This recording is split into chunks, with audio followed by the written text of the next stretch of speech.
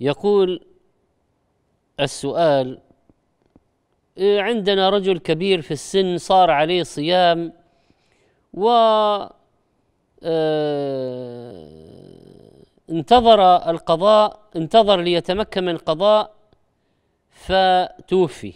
نقول ما عليه شيء ولا على أوليائه. إذا كان يستطيع إذا كان المرض الذي عنده يمكن شفاؤه. وقال الأطباء يرجى شفاؤك. فانتظر الشفاء لتقضي. فانتظر الشفاء ليقضي فمات. فهو معذور ليس عليه ولا على أولياء شيء. ولكن إذا قالوا هذا في تقدير الأطباء لا يرجى شفاؤه. فإن عليه إطعام مسكين عن كل يوم. ولو مات يخرج أولاده هذه الفدية. لأنها دين عليه لله تعالى.